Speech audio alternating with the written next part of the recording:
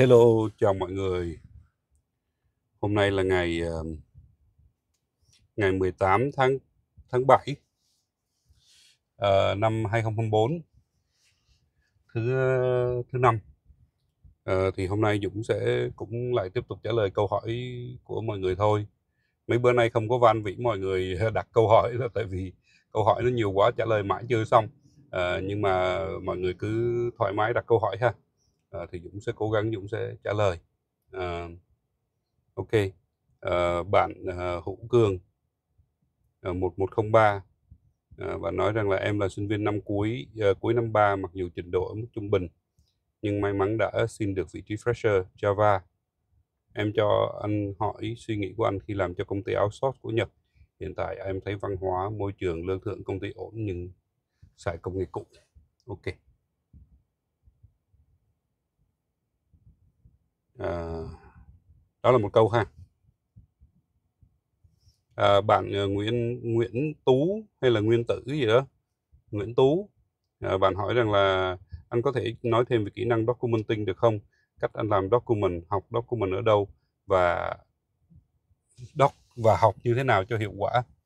À, cảm ơn anh. Ok ok. Rồi à, mình sẽ trả lời câu uh, câu số 1 trước và sau đó thì mình sẽ trả lời câu số 2 là về kỹ năng uh, làm document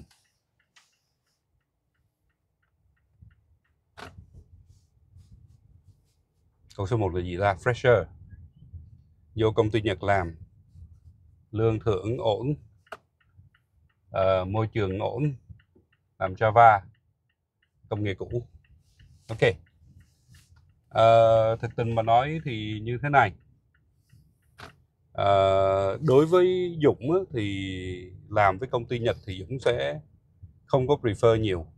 Nhưng mà cái này là là do tính cách của Dũng thôi. Chứ không phải là làm việc việc với người Nhật không có tốt ha. À, chỉ đơn giản là tính cách của Dũng Dũng không thích cái văn hóa thứ bậc. Nó quá rõ ràng kiểu giống như là mình uh, mình là cấp dưới thì coi như là mình phải lúc nào cũng phải cúi rạp người chào người ta rồi uh, kiểu giống như là uh, sếp đến sớm thì tất cả mọi người phải đến sớm uh, vân vân. Thì Dũng không có thích cái văn hóa đó cho nên là Dũng không có uh, không không không có gì đó uh, thích làm việc với các công ty Nhật. Dũng thích cái văn hóa là làm việc với nhau ngang à, ngang ở eye level mà nhưng mà tại vì Dũng cũng không làm với công ty Nhật uh, cho nên Dũng cũng không có biết là như thế nào uh, Dũng cũng không có biết là cái perception cái góc nhìn của Dũng nó có đúng hay không với uh, với công ty Nhật nữa. Nhưng mà những qua những gì mà mọi người kể lại thì Dũng có cảm giác là như vậy. Uh, còn cái chuyện còn chuyện là các bạn uh, làm công nghệ cũ với Java thì Dũng thấy chả có vấn đề gì cả. Thực sự mà nói thì cái thứ mà quan trọng nhất khi mà làm uh, software engineer ấy, à, là giải quyết các cái vấn đề liên quan tới business. À, bây giờ nó có vấn đề liên quan tới business thì bạn giải quyết. Và bạn phải có cái kỹ năng uh, phân tích requirement giải quyết vấn đề. Đương nhiên do bạn làm uh, ngành tech cho nên là bạn phải có kỹ năng research tức là kỹ năng đi học thêm cái mới. Uh, chứ nếu mà bạn ờ, không có kỹ năng học cái mới thì cũng cũng không được đúng không? Nhưng uh, cái việc mà làm cái công nghệ mới ấy, nó không có nghĩa rằng là cuộc đời bạn sẽ thoải mái và sung sướng hay là sẽ tốt mà là bạn cần phải có những cái uh, những cái kỹ năng đủ tốt để giúp cho bạn có thể tồn tại sống tốt bất kỳ ở bất kỳ công ty nào. Và để mà sống tốt và tồn tại ở bất kỳ công ty nào á thì uh, cái kỹ năng mà về requirement engineering tức là phân tích rồi thu thập requirement phân tích cái business giải quyết được những cái vấn đề uh, về mặt technical lẫn như cũng như là các cái vấn đề logic trong business requirement chẳng hạn mà bạn uh, làm được thì đó là một cái thế mạnh rồi. Uh, cái điểm thứ hai nữa là bạn có khả năng uh, problem solving về mặt technical tức là technical problem solving. Bạn có cái khả năng đó bạn uh, tìm ra được lỗi tìm ra được root cause fix được cái lỗi đó. Đó là kỹ năng quan trọng. Cái thứ ba là code bạn produce uh, nó phải uh, clear enough. Đó nó phải clean và clear enough. Clean thì clean và tidy thì nó quan trọng tại vì mọi thứ mà được nó được sắp xếp rõ ràng uh, có cấu trúc nhìn ra nó dễ dễ bảo trì thì đương nhiên là người ta sẽ thích à, cho nên là và, và người ta sẽ đánh giá cao cho nên bạn cũng phải có cái khả năng đó. À, bạn phải có khả năng làm việc theo nhóm. Đó và làm việc độc lập. Và sau cùng thì bạn phải có khả năng research nghiên cứu và áp dụng cái mới vào trong công việc. Nếu bạn có đủ các cái tố chất đó thì bạn làm bất cứ công ty nào bạn cũng tồn tại và sống sót cả bây giờ giả sử giống như bạn làm Java công nghệ cũ ở một công ty Nhật nhưng mà vì bạn uh, biết rằng là bạn cần phải chuyển đổi công việc và bạn cần làm việc với một cái framework mới với một cái công nghệ mới thì ờ, bạn chỉ cần invest thời gian ngồi ở nhà học và làm thôi. Đó làm side project. Khi bạn làm được side project uh, với cái công nghệ mới đó thì bạn cộng với những số năm kinh nghiệm mà bạn đã làm ở công ty cũ uh, thì người ta cũng sẽ uh, nhận bạn. Uh, chả có lý do gì người ta không nhận bạn nếu như uh, bạn chứng tỏ được rằng là bạn làm uh, cái cái cái cái cái cái, cái bạn có kinh nghiệm làm uh, gì đó có kinh nghiệm giải quyết vấn đề và bạn có kiến thức uh, về cái công nghệ mà người ta muốn xài. Đó. có nhiều người á, đi vô hỏi của bạn có bao nhiêu năm kinh nghiệm uh, uh, làm việc với uh, Spring Boot? Hoặc là Quarkus xong rồi uh, trả lời uh, ví dụ công ty đó xài Quarkus làm uh, làm cái framework đi. Xong rồi uh, bạn mới trả lời rằng là không có kinh nghiệm là năm làm Quarkus chỉ có kinh nghiệm làm Spring Boot uh, vô lẽ người ta không có nhận bạn. Khó lắm tại vì uh, Quarkus nó không phải là một cái framework nó phổ biến trên thị trường. Nhưng mà giả sử giống như uh, bạn phải cần phải làm với Java EE, J2EE hoặc là bạn làm với Java Server Face mà người ta yêu cầu bạn uh, phải biết về Spring Boot thì chí ít là bạn phải tự học để các bạn biết cách code và lập trình với Spring Boot. Và khi mà bạn mà không có số năm kinh nghiệm thì bạn phải bù đắp bằng sự hiểu biết. Tức là bạn bù đắp bằng sự hiểu biết như thế nào? Tức là bạn vô bạn ngồi bạn code bạn học ờ, kỹ lý thuyết các cái câu hỏi liên quan tới lý thuyết của Spring Boot để bạn đi phỏng vấn. Chỉ thôi. Đó. Thì uh, bạn sẽ thắng được bạn cứ thẳng thắn thật thà. Đó là em thì không có kinh nghiệm uh, làm trong cái dự án của công ty nhưng mà em có làm side project uh, với Spring Boot em tự học ở nhà và em tự tin là em có khả năng để làm được cho anh chị. Cứ tự tin mà nói như vậy. Và sau đó ta hỏi mình trả lời đúng không?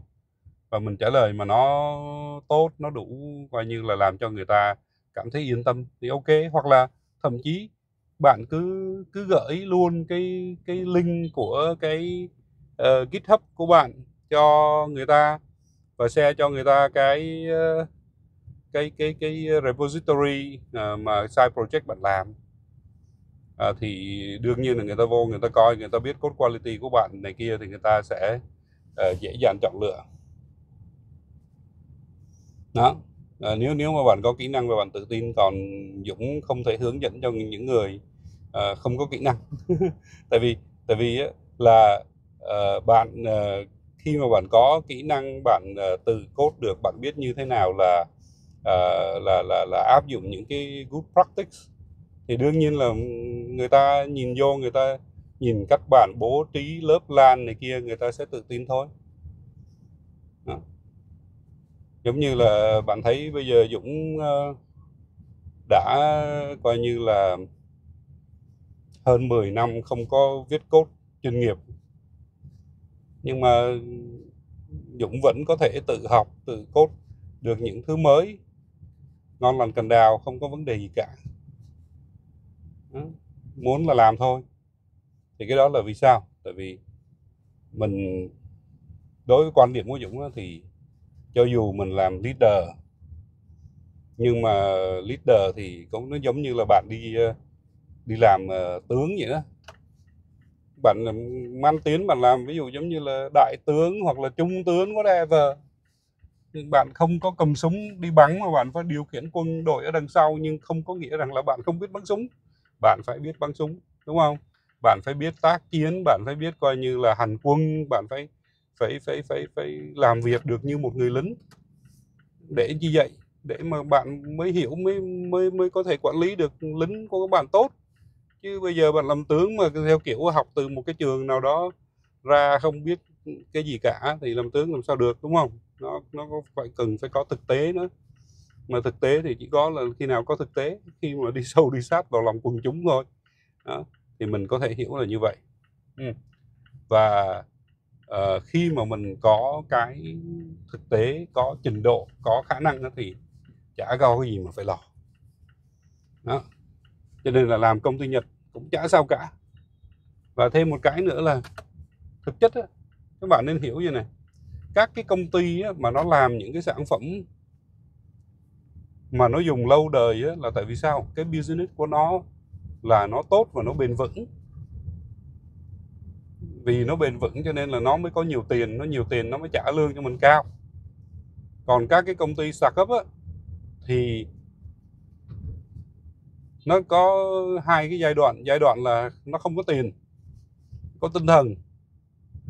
Thì người ta tự làm xong rồi người ta thuê thêm một vài người nữa uh, gì đó trẻ trẻ uh, có máu máu me bơm cho họ cái vision tầm nhìn là tập thậm thấy là họ tập yêu thích liền và sau đó thì họ sẽ uh, căng mình ra căng sức ra làm để giúp giúp đỡ cho cái product nó trở nên thành công à, và tới cái giai đoạn đó gì giai đoạn thứ hai đó là bắt đầu có uh, các cái MVP nó chạy được rồi thì bắt đầu họ đi ờ, sell với các nhà investor và cuối cùng thì họ kiếm được một cái khoản đầu tư và bắt đầu họ phải đốt tiền.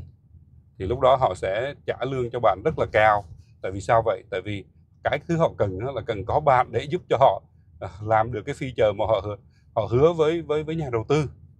Cho nên họ trả lương cho bạn cao. Tuy nhiên tuy nhiên là uh, ví dụ giống như cái thứ họ làm ra uh, nó không có chạm được khách hàng nó không có phát triển được uh, nó không có uh, cái gì đó doanh thu đủ tốt thì nhiều khi sau hai ba năm thì bạn cũng ra đường thôi. Đó nên uh, làm công ty nào cũng được. Uh, quan trọng là bạn phải có kỹ năng bạn có khả năng để bạn uh, có thể tồn tại được cho dù chuyện gì nó có xảy ra đi chăng nữa. Đó. thì uh, đó là cái câu hỏi của bạn còn có cái câu hỏi thứ hai là câu hỏi về ờ, kỹ năng documenting documenting. À, đối với cái kỹ năng uh, làm uh, document á, thì bạn hỏi là học từ đâu thì Dũng uh, nói thật ra là chúng ta học từ khi chúng ta học uh, lớp 1, lớp 2, lớp 3 cho tới cấp 1, cấp 2, cấp 3 đó. Đó là kỹ năng viết văn. À, những cái kiến thức về mặt viết văn giống như là uh, quy nạp rồi uh, gì đó. Uh, nhìn từ xa tới gần viết từ gần tới xa rồi uh, mở đầu thân bài kết thúc vân vân. Uh, đó là những cái uh, tối quan trọng để bạn có thể um, gì đó sử dụng uh, cái đó để bạn uh, có thể viết document tốt. Uh, cái việc mà bạn học tiếng Việt uh, và học uh, tập làm văn mà bạn được điểm cao à, thì chưa chắc là bạn viết đó của mình đã giỏi nhưng chí ít là bạn biết cách sử dụng ngôn ngữ để diễn đạt ý nghĩ của mình. Đó, đó là cái quan trọng. Cái thứ hai nữa là khi bạn viết document thì bạn cần phải quan tâm là bạn viết cho ai. Ai sẽ đọc document này? Và mình phải đặt cái cái vị thế của mình à, thành cái vị thế của cái người đọc. Họ đọc vô họ có hiểu không? Họ có đủ tri thức đủ kiến thức để hiểu sâu cái vấn đề giống như mình hay không? Mình nói câu mà họ hiểu liền được không? Hay là mình cần giải thích cho họ thêm à, cái gì là cái gì? Đó rồi à, mình cần hướng dẫn thêm cho họ hay, hay không? Hay là à, đối tượng mình viết cái đó của mình này ra là cho team member đọc hay là cho khách hàng đọc hay là cho project manager xem? À, vân vân thì các bạn phải uh, suy nghĩ và các bạn phải động não để các bạn viết cái document đó. Uh, nó theo cái một cái thứ lớp phù hợp. Đó là cái điểm thứ thứ thứ, thứ hai mà bạn cần phải quan tâm. Cái điểm thứ ba đó là một cái document tốt trước tiên là nó phải sạch sẽ chỉnh chu không có sai lệch chính tả. À, cái đó là cái mà mình ờ, mình nghĩ là mọi người cần phải suy nghĩ ha sạch sẽ chỉnh chu không có sai lệch chính tả. Nó được phân bổ, chia ra thành các cái phần rõ ràng. Có mục lục, có đánh version. Ai làm gì thay đổi, vì sao thay đổi Đúng không? Ghi rõ vô. Đó. Thì mấy cái đó, và bạn bạn cần phải biết này. Các bạn viết một cái email, nó cũng là một cái cái cách để mà viết document bạn uh, viết một cái bạn làm một cái slide cũng là một cách để document. Bạn viết uh, cái document tên trên wiki thì nó cũng là document. Và bạn phải đặt một cái câu hỏi quan trọng đó là tôi viết cái document này để làm gì? Với mục đích gì? Ai đọc? Đó. Và đọc thì họ cần phải hiểu được chuyện gì. Đó. Cái tôi muốn mà sau khi người ta đọc cái document này thì người ta sẽ có hành vi gì hay là thay đổi hay làm gì vân vân. Thì lúc đó bạn mới có thể uh, viết được một cái document nó đủ tốt được. Đó. Còn uh, còn việc uh, coi như là viết các cái thể loại document khác nhau ví dụ giống như là bạn làm uh, bạn làm uh, developer ví dụ senior developer uh, thì bạn phải viết các cái technical note. Uh, những cái technical note về cái ví dụ giống như là à, tôi uh, quyết định uh, uh, đối với cái cái cái cái cái cái cái cái, cái feature này cái trang này uh, tôi sử dụng uh, cái uh, nút search à, hoặc là nút filter một cái button filter thay vì là để filter tự động. Uh, thì lập tức người ta sẽ đặt câu hỏi ủa filter tự động là nó giúp cho Ờ, cái cái cái cái cái cái gọi là user experience nó hay hơn nhiều. Tại vì sao? Tôi phải uh, tại vì sao bạn lại bỏ cái đó? Thì đương nhiên mình phải ghi rõ ra. À uh, cái pros and cons uh, của cái việc sử dụng hai cái phương thức này là gì? Mục tiêu đạt được của cái ứng dụng này là uh, của cái cái cái trang này là gì? Rồi khi với cái khối lượng dữ liệu lớn như thế này à, thì cái chức năng filter tự động thông qua cái nhiều cái column. À, mỗi cái column như vậy á, nhiều cái cái filter mỗi cái filter như vậy mỗi khi bạn chọn à, một cái option ở trong đó thì nó sẽ filter tự động. Nó dẫn tới cái câu chuyện là gì? Khi bạn uh, uh, bấm mỗi lần bạn bấm chọn như vậy nó tạo ra một cái query lên trên uh, trên uh, server và nó lấy dữ liệu về và cái dữ liệu đó là nó là được lấy về thông qua việc là uh, combine hoặc là join uh, nhiều bản với nhau với một cái công thức phức tạp và nó thực sự nó impact tới cái performance uh, của cái hệ thống. Đó. Cho nên uh, việc tạo ra nhiều request như vậy với nếu mà có số lượng concurrent user đông thì cái số lượng query mà với lại là các cái cái, cái các cái query với lại các cái request mà nó tới trực tiếp tới database nó sẽ rất là nhiều và nó gây uh, impact tới performance. Nên là uh, bạn suggest rằng là có hai option. Một cái option là sử dụng một cái filter button để nhấn cái nút filter. Đó. Và cái thứ hai uh, là bạn chờ uh, tầm có khoảng 2 giây sau khi người dùng tương tác xong thì bạn mới filter cái dữ liệu tức là bấm chọn chọn chọn chọn sau đó thì bạn đợi một hai giây gì đó. Ví dụ vậy thì khi mà bạn viết ra là người ta sẽ hiểu à thứ nhất là tôi uh, uh, make một cái technical decision là như vậy. À, cái động cơ khiến cho tôi phải make cái technical decision đó. Cái evidence cái à, cái suy suy luận tức là cái thought process rồi cái evidence tức là tôi đo tôi thấy số lượng request nó gửi về như vậy này đó à, thì uh, tôi uh, đề xuất là làm như vậy. Thì tôi sẽ làm một cái solution demo tôi biểu diễn cho bạn.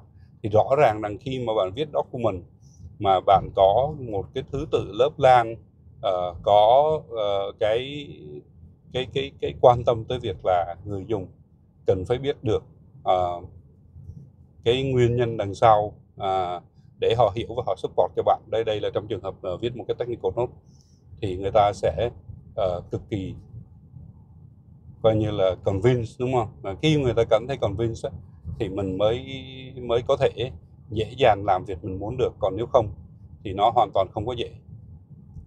À, ví dụ giả sử giống như là Dũng muốn uh, viết document uh, về một cái ờ, dự án Dũng đi nhận một cái dự án uh, chuyện này là chuyện cách đây uh, mười mấy năm rồi thì Dũng uh, đi nhận một cái dự án ở Hồng Kông. Thì uh, khi đi thì Dũng cũng nghe người ta chia sẻ về một số thứ về requirement các kiểu. Uh, Dũng bắt đầu Dũng nốt lại.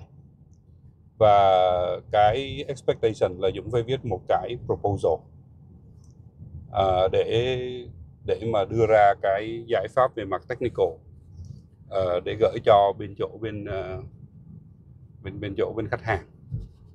Thì việc đầu tiên khi Dũng về uh, nó không phải là Dũng sẽ vẽ mấy cái hình uh, về mặt uh, technical uh, solution rồi Dũng gửi cho họ. Nó Dũng không có làm giống vậy. Dũng sẽ đầu tiên Dũng sẽ viết lại cái requirement của họ. Tại vì họ đâu có đưa mình cho mình một cái document rõ ràng về requirement đâu. Họ có thể thông gửi một số cái confirmation thông qua mail. Họ cũng có thể là chỉ qua thông qua lời nói. Việc đầu tiên là Dũng sẽ ghi lại một cái thứ gọi là our understanding of your requirements. Đó và Dũng bắt đầu document lại à, à, có bao nhiêu hệ thống cần integration à, với cái này mình cần migrate cái gì mình cần làm gì inbound outbound data là như thế nào chỉ ghi lại những thứ Dũng hiểu về những điều họ nói trước. Đó. Xong rồi Dũng mới gửi cái email qua, Dũng yêu cầu họ là confirm về mặt requirement mà Dũng đã ghi ra. Đồng thời, trong đó nó có những cái vấn đề mà nó chưa có rõ ràng thì Dũng sẽ yêu cầu họ trả lời.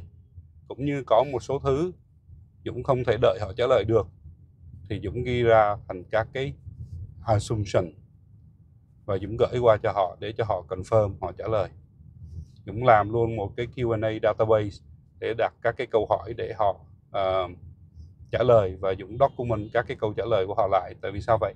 Tại vì nếu mà không có document các cái câu trả lời của họ không có evidence sau này họ sẽ uh, nói thích nói gì thì nói thì không được mình phải có evidence. À, cho nên Dũng phải lấy các cái thông tin đó Dũng giữ lại. Sau khi mà uh, gì đó mình get it clear về mặt requirement không không phải là mình đợi tới khi xong cái đó thì mình mới làm nghiên cứu mình làm research này kia mình vẫn research các kiểu. Thì mình bắt đầu mình viết cái cái technical solution. Và rõ ràng là khi viết technical solution thì mình phải bay trên những cái cái cái tình huống để mà mình mình uh, uh, mình chọn cách viết. Ví dụ giống như là uh, mình viết cái solution nó chỉ nhằm thể hiện uh, cái high level architecture thì tại vì nó không có cơ chưa cần đi vô các cái uh, feature nhỏ thì mình không cần dùng những cái uh, đồ hình theo cái kiểu là phân ra uh, gì đó. Uh, cái cái cái đó là gọi là gì là flow hả? Nó không phải là flow chart. Flow chart là một thứ mà Dũng rất là thích xài. Uh, nó là flow chart nhưng mà nó có đi thêm các cái swim lane uh, các cái role này kia nó tùy. Thì mình phải nhìn vô cái tình huống mà mình tùy. Và có, có một cái nữa là mình tìm hiểu uh, các cái model để viết technical đó của uh, có có có có mặt sẵn để mình coi thử là cái gì nó thực sự cần thiết uh, để mình bỏ vô mình dùng trong cái trang của mình. Và không nhất thiết phải tuân thủ 100% uh, theo cái lỗi của họ. Ví dụ giống như là nó có cái cái C C4 cộng 1 chẳng hạn cái C4 plus 1 đó uh, thì ờ, bạn nhìn vô bạn thấy ở uh, nó có deployment model nó có uh, nó deployment view nó có bốn cái view khác nhau. Thì bạn thấy uh, oh, cái idea này hay quá. Đây là một cái bài toán về mặt technical nó có bốn cái view khác nhau. Thì mình uh, mình cũng có thể follow mình viết theo cái lối đó. Nhưng mà trong các cái bốn cái view đó thì nó lại chưa có mention về uh, như về non functional requirement à như vậy thì mình phải viết riêng một cái non functional requirement rồi viết trên cái phần đó list out các cái non functional requirement. Sau đó thì mình sẽ ghi ra là các cái consideration tức là các cái factor for consideration rồi làm các cái phân tích giữa vì có cái non functional requirement này cho nên tôi uh, propose xài cái này. Uh, để trong cái chuyện propose xài cái này thì tôi đã có comparing giữa ba bốn cái option như vậy. Ờ, thì thì tôi mới có một cái bản để tôi phân tích thiệt hơn khi xài các cái phương án đó. Cho nên cuối cùng tôi chọn ra cái này vì lý, lý do này. Đó kiểu vậy. Thì tất tần tật mọi thứ mà bạn viết ra phải nó phải nhằm một cái mục đích là gì? Đọc vô thì nó rõ ràng và dễ hiểu. Cái thứ hai nữa là nó có uh, nguyên nhân và hậu quả. Đó nó có nhân quả trong đó. Nó có coi như là đề bài thân bài và kết bài. Đó nếu mà trong trường hợp mà bạn viết mà nó rõ ràng và cụ thể như vậy và nó cần phải có một cái high level um, gì đó gọi là conclusion và thông thường á nếu như mà trong trong trong làm văn á thì mình sẽ để cái conclusion ở nằm cuối cùng đúng không? Còn thực ra á, trong khi mà viết document mà để mà viết ví dụ technical proposal này kia á, thì đôi khi á, cái conclusion á mình phải để ở trên cùng. Rồi xong rồi là gì? Họ sẽ bắt đầu hoang mang họ nói của conclusion của mày là vậy nhưng mà tao không có trust mày. Tao không có tin. Ok ờ, mày cứ đọc từng cái phần một ở trong này. À, mỗi cái session như vậy tao đã có nói chuyện về uh, về a về b về c này kia tao có giải thích cho mày đó. Mày uh, ấy đi. Thì như vậy á, nó nó nó nó nó trở nên rất là rất là rõ ràng và chi tiết và người ta sẽ uh, đọc vô người ta sẽ cảm thấy convinced. Và Ừ, cái suy nghĩ cái thought process của bạn mà nó có cấu trúc có trật tự tốt thì ờ, bạn mới có thể đi được xa. Nếu mà bạn không có phải là những cái người mà có khả năng suy nghĩ một cách rõ ràng và liền mạch thì bạn không thể làm document một cách rõ ràng và liền mạch được. À, cái đó là cái mà dũng ờ, dũng dũng nghĩ là các bạn phải nên suy nghĩ thêm thử ha nếu mình muốn viết ra document nó rõ ràng liền mạch thì mình phải có cái suy nghĩ nó rõ ràng và liền mạch. Cái khả năng suy nghĩ cái khả năng collecting information của mình nó phải uh, nó phải đủ tốt. Và mình cũng phải nghĩ tới cái chuyện là mình organize information. Và một trong những cách mà để cho bạn tăng làm tốt cái kỹ năng về documenting đó, đó là document tất cả những gì bạn đang làm. Tại sao nó nó quan trọng như vậy? À, ví dụ giống như là bạn uh, vô bạn uh, đọc những cái cuốn tiểu thuyết giống như là uh, Dracula uh, bá tước Dracula của của Bram Stoker ha về macaron đó thì bạn thấy rằng là cái cái người đi uh, đi làm uh, uh, ví dụ giống như cái cái anh này anh trên ờ, đi làm về ờ, về về về uh, xuất nhập khẩu rồi anh đi qua xứ đó rồi anh có viết lại các cái nhật ký này kia. Thực chất các cái nhật ký đó nó cực kỳ quan trọng và nó giúp cho bạn giữ lại những cái thought process của bạn những cái suy nghĩ của bạn. Và cái thought process của bạn bạn phải document lại được bạn đọc vô bạn phải hiểu được và uh, thì bạn mới mong chờ rằng người khác có thể hiểu được. Đó còn nếu mà bạn không có hiểu thì người khác cũng không có hiểu đúng không? Đầu tiên là bạn phải hiểu và bạn phải đặt uh, gì đó bản thân mình vô đôi giày của người ta thì bạn mới uh, mới có thể là viết document mà nó thực sự nó nó nó nó tốt được. Còn không là bạn không có tốt. Thì có những cái nhật ký về hải trình hoặc là uh, những cái hành trình đi phiêu lưu hoặc là bạn viết blog uh, bạn viết uh, gì đó uh, cái những cái nốt để mà uh, ghi lại những thứ bạn bạn tìm được bạn học được trong quá trình lập trình uh, những cái link của các cái reference link uh, để mà có thể uh, gì đó uh, tham khảo sau này vân vân. Thì bạn mà có gọi là uh, tổ chức cái information uh, của bạn tốt tổ chức cái thông tin của bạn tốt thì khi mà bạn tổ chức thông tin tốt thì nó chính là cơ sở dữ liệu đó. Thì cái cơ sở dữ liệu của bạn mà nó tốt thì bạn mới có thể coi như là có kỹ năng về document tốt được. Đó. thì ờ, đó, đó là cái kinh nghiệm của Dũng.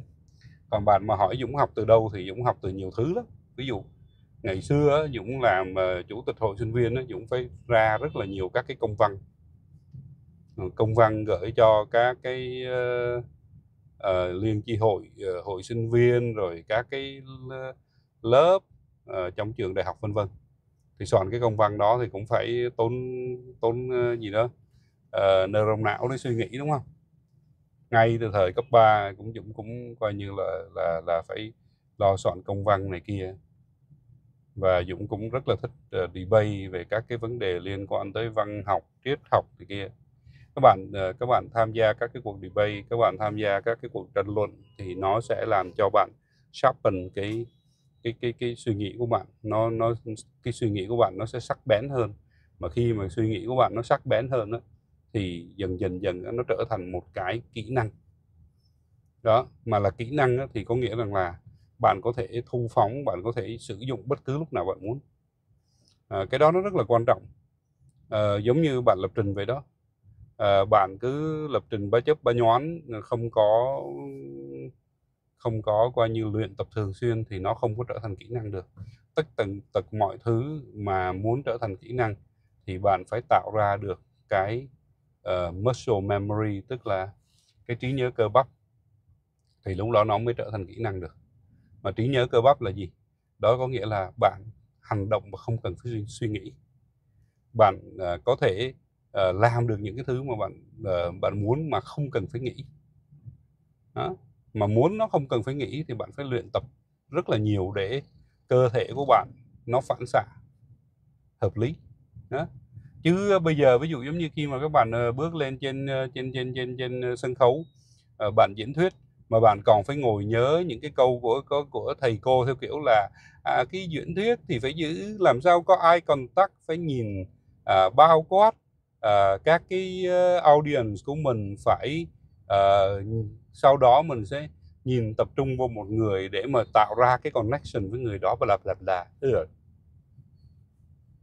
lên trên đó rồi làm sao nhớ được mấy cái đó nữa? Mà nhớ mấy cái đó thì làm sao nói? Đúng không? Phải biến nó trở thành một cái kỹ năng.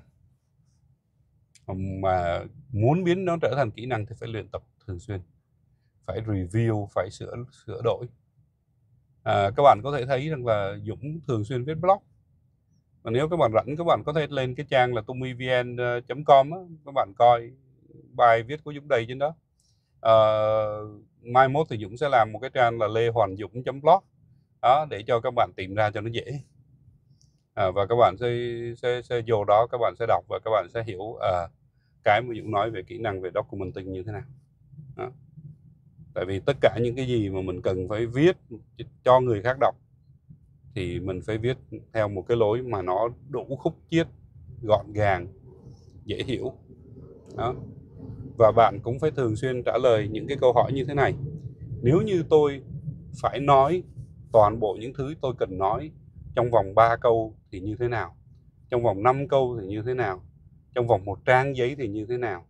Trong vòng một cái slide thì như thế nào? Trong vòng 5 cái slide thì như thế nào? Mà viết thành một cuốn sách về cái chuyện đó thì như thế nào? Đó. Nó là hoàn toàn là một cái câu chuyện hoàn toàn khác. Đó.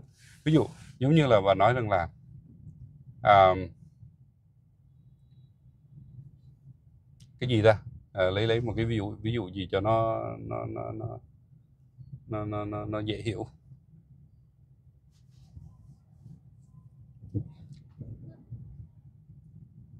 Giả sử đi. À, Dũng lấy một cái rất là đơn giản uh, ai cũng cũng cũng cũng cũng thấy Spring Boot ha. Uh, Spring Framework nó hay. Uh, và mọi người có ai khuyên rằng là bạn học uh, Spring Boot? Mà bắt đầu bằng cách là đi lên đọc ngồi đọc document của Spring không? Không ai lên đó đọc hết đó. lý do là gì vậy này mới làm hết tôi còn không có biết là viết cái application như thế nào cho nó chạy nữa.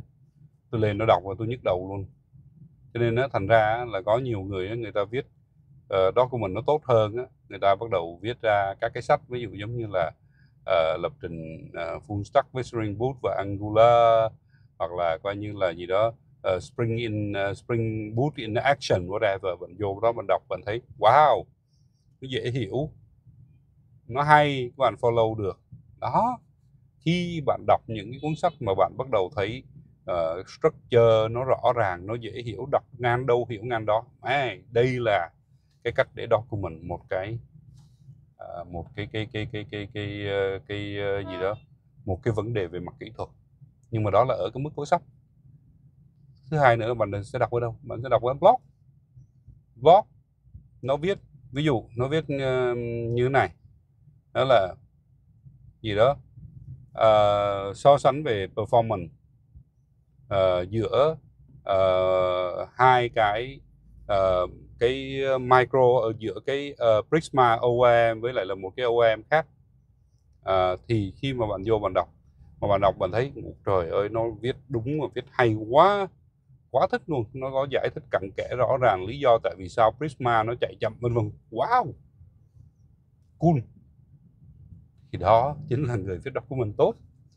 Nó viết mà bạn hiểu bạn đọc bạn hiểu bạn buy in và bạn satisfy bạn cảm thấy vui vẻ, bạn cảm thấy coi như là đọc cái việc mình đọc này không có mất thời gian, thì đó là cái kỹ năng mà người ta build được. Thì mình phải học theo họ, đúng không?